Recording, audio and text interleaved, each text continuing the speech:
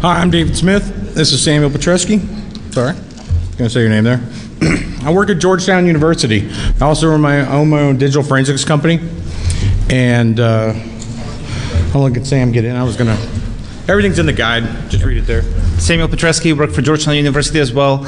Um, I run my own consulting company, mostly in network um, security architecture. So I design big, big stuff that would fit in the enterprise. And uh, we're going to talk to you about uh, forensic methodology here. So the idea is that. So anyway, I came up with this idea. I was actually reading a white paper, and it was a fantastic white paper, and I definitely recommend you go and take a look at it. I put the important things up on the screen, but um, it compared a lot of digital forensic methodologies, broke them up into like a standard phases and which ones have which, and and um, and it's it's just kind of that normal go and collect it and make sure you have your warrants and, and all those types of things. But it did a really good job of just saying, hey, there's so many out there, you know, what's missing. And so a lot of the methodologies, I, I thought none of them out there really were what I taught. I run teams of forensics folks, and, you know, I'm always like getting a new guy and, you know, having a good guy that's learned a lot of good things head off to his own organization or start his own company. And so I found myself in the same little groove of like, here's what I want you to do, and here's how I break it down for you. So I wanted to actually, uh, this was the idea I had, and just, you know, why not take all of these processes and turn them into a real methodology? And I did really in my head say, okay, what's the really difference between a methodology and a process? And so I broke it up. And so what I think I really have is a methodology. So um, to start off, we're going to look at some of the existing methodologies and uh, how they compare and kind of look at what's really good at them. And then uh, we're going to kind of try to show you where our methodology really fits into. So this is the first paper where the idea came from, where Dave was talking about initially. Uh, this is a really good overview paper. So if you want to find out what kind of methodologies are out there, how they uh, propose that the, uh, method, the forensic work works, um, they analyzed about 13 different papers. It's a little bit older now. I think it was published in 2008. But uh, they looked at 13 different methodologies, and they found that different methodologies methodologies had different number of phases. Some of them had four phases, and some of them I think had 21 phases. Um, and so what they did is they um, grouped everything in five common phases uh, on the right hand side, as you can see there. And then they mapped the existing phases that the methodology had into uh, their four or five phases here and see where they would fit in. And so the conclusion of the uh, analysis paper was really um, most of the methodologies out there would fit within the four phases, most of them fit into the five phases of. Um, of their proposed model, but in essence, uh, all the methodologies have the main components there. Who's a Brian Carrier fan? All right. Cool. So, um, as I mentioned, the different uh, things that what we found is the different methodologies have the same main components. Um, basically, how do you authorize the investigation? You know, do you get the right data? How do you acquire the images the proper way? Have it so it's uh, admitted in court uh, later on if you need to. Um, then, how do you define valid technologies or techniques to find the data that you're really after it? And then at the end, how do you produce a report that's really meaningful to the requester and uh, shows that the information that they requested really is there or it's not there? So, uh, quick uh, show of hands, how many of you are just getting into forensics, like uh, just getting there? Excellent. How many of you just do forensics kind of regular basis, um, medium level kind of? And how many of you are experts? Do this in and out all day long? Okay.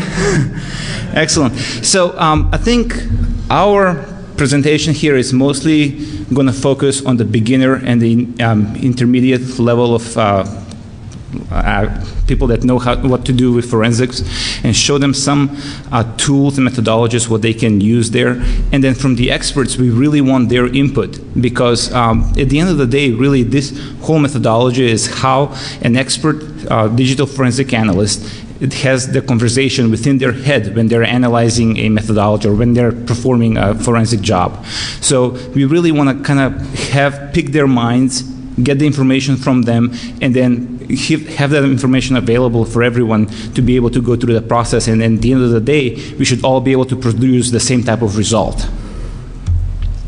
So a um, couple other methodologies that we looked at, uh, really what's the digital forensic methodology? The Department of Justice has a pretty good uh, process overview. They outline uh, seven different processes there that they think or they uh, want to use in their uh, methodology. And so they have everything from obtaining the data, getting the proper um, authorization, getting the requests done properly, acquiring it, extracting the, the important or the relevant data out, um, analyzing it, and then producing the report, and then kind of overview of the whole process, what worked, what didn't work. And so they go into a little bit more detail into each phase and uh, have a pretty good flow chart. I'm not going to go through them, but this is something if you're interested in figuring out what their processes are and what they recommend of doing, it's, it's pretty neat. And so they have the preparation and extraction, extraction phase. Uh, they go through the whole flow there of how you do, how do you go through the whole process of getting the data the proper way and acquiring it. And then the second is the identification. So we have the data now, but how do we find out what's really important for the case type that we are working on? And then the third one is really the analysis, right? We got the data, we have the information there, but now uh, we need to analyze it to see really what's in there. And so their iterative process is pretty, uh, pretty good here into going through all the steps of who, what, where, what, you know, how, and um, all the other processes to get the right information there. Is this mine? Yeah. So, um, kind of a conclusion of the overview. Uh, there are really good processes out there or methodologies that uh, have been documented. There are a lot of white papers that, uh, if you really are getting into this area, I would highly recommend reading them. They're very valuable. Um, the integrated digital investigation process, uh, they have uh, a really nice uh, paper out there that uh, outlines the whole uh, methodology that they recommend. There is a digital forensics research workshop that they uh, publish different papers all the time, and um, they also you know talk about those five phases that we mentioned initially, and then um, the enhanced uh, in integrated digital investigation process. They even have a dynamite phase. I love that. I actually wrote that line. How cool is a methodology that has a dynamite phase? So anyways, that was kind of the overview, and what we want to get into is um, what are the problems with digital forensics? Why is it hard? Why are there experts and, and people have a hard time picking it up and learning it? And I think the number one answer is that it's an open solution set, right? There's many, there's many ways to find the answer that you're looking for, and I talk about a few of those in a little bit, but just, there's many, many ways of solving it's a lot of self-teaching and just sitting to it, right? You can sit there, and you can, expert will take two hours, and somebody who's just learning it may take 12 hours, whatever. But a lot of it is just sitting there. And You're like, I'm going to run this registry. Oh, that didn't really pay out for me. I'm going to, you know, run all the link files. I'm going to do this. I'm going to do that.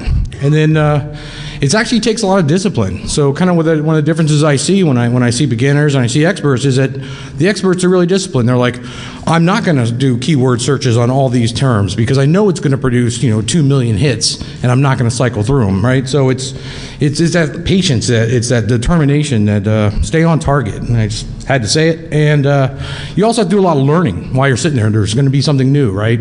So the first time you got a job that had a Vista Shadow, right? And then you know you're like shadow copy, and you're like, oh great, how do I do this? And you're looking up on SANS or trying to talk to Rob Lee or something like that.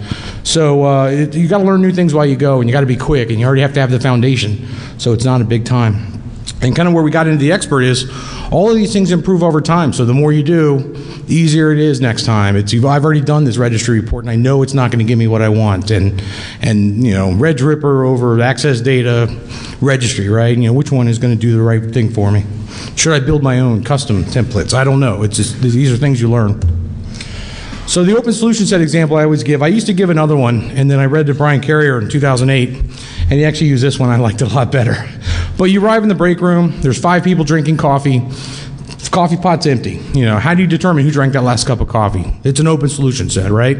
You got to think there's a hard grilled veteran detective out there that could bust that case in five minutes, and me, right? I, I don't know, Jack. Uh, you know, it might take me five hours. But uh, anyway, anybody want to give me an idea of how do I determine who drank the last cup of coffee? Right there. Ask them. Okay. Interview. That's in there. All right. So this is my first round. Temperatures, the amount of coffee in each cup, the strength of each coffee, right? It's going to be stronger at the end. You guys want to keep going? I got about 10 of these. This is one of the questions I ask everybody who ever works for me. Like, give me something new. What's that? Okay, they're, they're right. There could be a six cup of coffee out there. Amount of coffee grounds, right? You know, hopefully there's more at the bottom, so the last person might have some more. Obviously, there's interview, uh, interview group, interview individuals. Yep. Video. There you go. Does video exist? Develop a timeline, right? You know, measure the temperature of the cup versus the temperature of the coffee. That was one I got a little while back. That is actually from the Brian Carrier example. He's actually doing it for a different reason about the statefulness of computers. But uh, yeah, offer reward. I like that one too.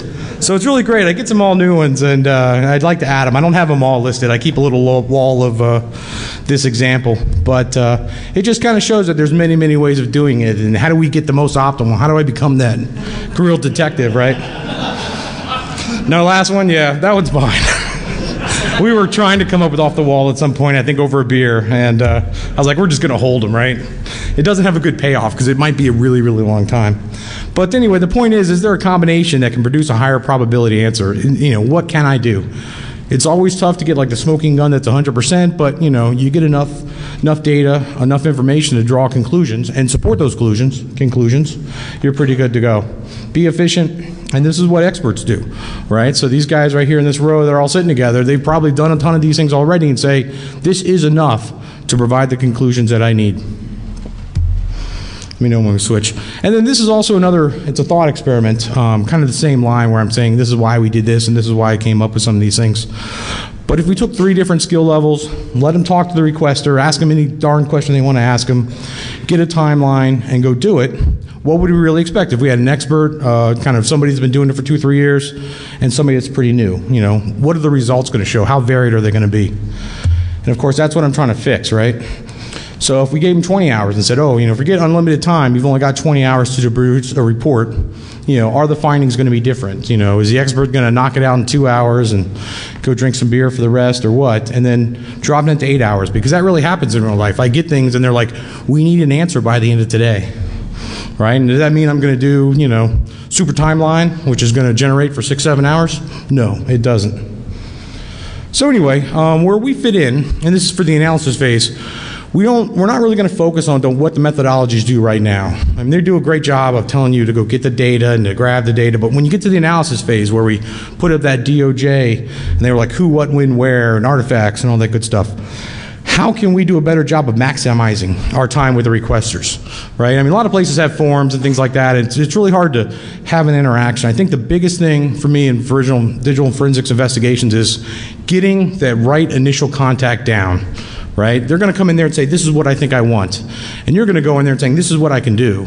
But how do I maximize that? How do I really get, like, these are the goals? And how do I come in there with some pre knowledge of what case types or what exactly they're asking for? So these were kind of our goals and the questions that we had as we went. And can we really achieve consistent results in the field? You know, I think we can get better, but, you know, actually every consistent? No. So here's what we came up with. Um, and again, this methodology is just an overview. Sam's going to get into a little bit deeper. But we've really set it up so it's part expert system, part process. So when you go in and you're talking to them, we've got we've got a tool that we're working on. We really wanted to have it done before we came here, but uh, it didn't happen. Um, but anyway, it's got case types, and a case type might be compromised machine or intellectual property.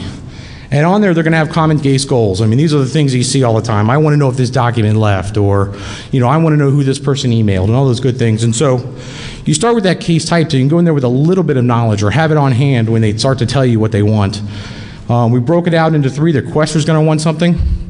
Um, you're going to have common things, and then there's also going to be analyst developed because during that initial pre-analysis phase, the last thing you really want is you know, that requester coming, getting your report after all this work and saying, oh, you know what, I forgot to ask you.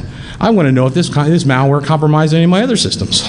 You know, so that's why, you know, you got it in front of you. It's going to be a common case goal for compromised systems. Do you want to know if there's additional exposures? Uh, once you get that, it's golden, right? To get the agreed upon case goals. You've got to walk away with it. It's got to be solid. It's got to be consistent. It's got to be just completely understood by both sides. Because if you go out and if you're working a case for a lawyer or something like that, and then bam, you give him what they want, and he's like, great, I can't use it, right? You know, I really needed to know if these PDFs ever existed. So if you can't get that, you're just you're in big trouble, and you're going to have to go back, and you're going to have unhappy customers because they're spending a lot of money. So anyway, uh, by developing the required list and the beneficial list, you can provide a case estimate. And that's something I really like because trying to get better at case estimates is a really, really big deal for me um, because you get people, you get these expectations. If you can be as you know as close to correct as possible, then you know you're not really having people that like I thought it was only going to cost thousand dollars, or you know I thought it was only going to take ten hours, and my